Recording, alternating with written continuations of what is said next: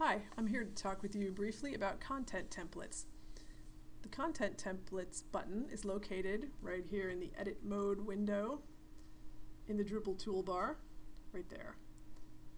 Templates icon, and provides a selection of items that can make it easier to build the pages of your course. In addition, and this is really important, these templates include all the correct coding, so you don't even have to think about what's going on behind the scenes. Anything you add with a template will be, will be accessible and correctly coded. You should spend some time here looking at the templates list and notice that there are templates for images, videos, block quotes, tables, shaded text boxes, pre-formatted blocks of text or spans of text like JavaScript or HTML, and there's even down here at the bottom a new bibliography template to help with the proper formatting of hanging indents. Playing around with these templates is a great way to learn how to use them. So let's enter a table here in the text as an example.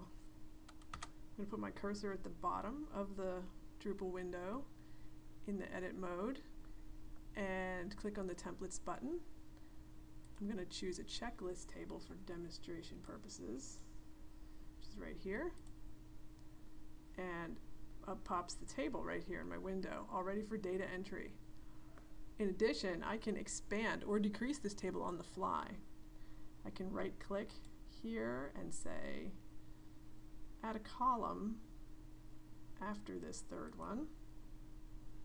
And it's hard to see, but it's there. Heading 4, like that. Or I can click here and insert a row after. So I've got, whoops, room for that. So as you can see, I can manage the table by right-clicking on it and using the insert row and or column functions to do whatever I want. All right, let's um, also look at an image template. Let's say I want to add an image one right here. Bad place to put one. Um, I'm going to put my cursor where I want the image to appear, click the templates button, whoa, and I'm going to choose image centered and let me find it here. The reason I'm going to choose that one is because this is most often what we want and that is because we want a caption and an image credit. If you're adding an image that doesn't need a caption or a credit, you can choose one of the other templates for um, image left or image right. But most of the time you're going to want this image center. And so I'm going to show you how to do that one. There it is.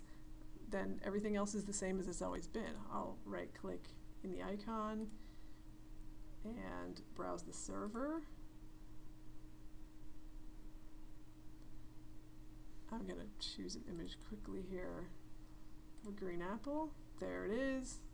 You can enter a caption, figure 1.2, green apple, image credit,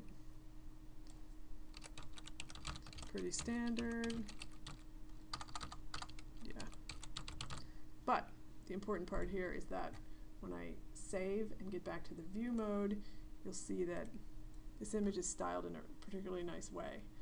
It'll be in the center of the page. And looks like that.